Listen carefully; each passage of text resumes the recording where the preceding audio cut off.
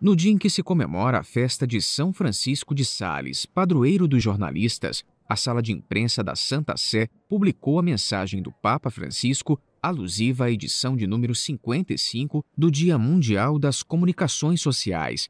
A mensagem foi inspirada em uma das passagens do Evangelho de João, que diz: Vem e verás, e reforça a necessidade de comunicar encontrando as pessoas onde estão e como são.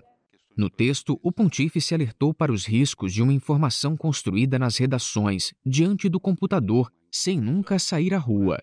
Nas palavras do Santo Padre, sem gastar a sola dos sapatos.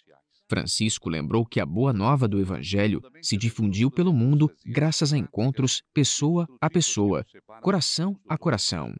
O Papa também deixou um agradecimento à coragem e determinação de tantos profissionais, especialmente nesse momento de pandemia, e disse que se hoje conhecemos, por exemplo, a difícil condição das minorias perseguidas em várias partes do mundo, se muitos abusos e injustiças contra os pobres foram denunciados, se muitas guerras foram noticiadas, se deve exatamente a essas vozes.